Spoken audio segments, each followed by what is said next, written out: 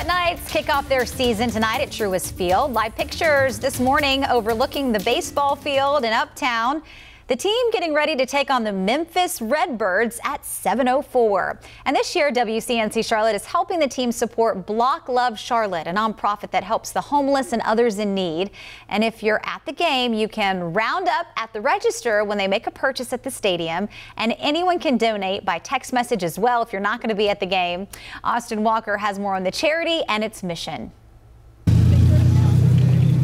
often overlooked and not thought about. Bringing awareness to the fact that this is that this actually happens in every city in America. People without a home. According to Mecklenburg County housing data, over 2,600 people are experiencing homelessness as of January 31st. Deborah Phillips with Block Love Charlotte working to feed and house people who are homeless, spreading awareness, accepting donations. Tents, tarps, additional cold weather items like hot hands, one of the events, a 24 hour sleep out to bring attention to the reality some face. It is a great opportunity for our neighbors to see just how much we believe in them, we support them.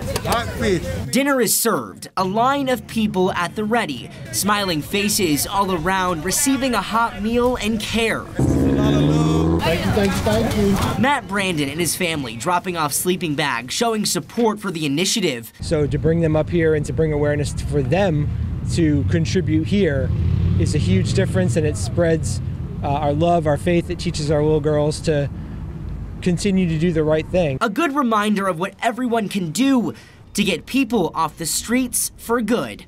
In Uptown, Austin Walker, WCNC Charlotte. And so if you do want to donate, all you have to do is text BlockLove23 to 44321 to make that donation. But hey, maybe they'll have a big crowd at, at the games. The weather's sure going to be they nice. will tonight. Enjoy it.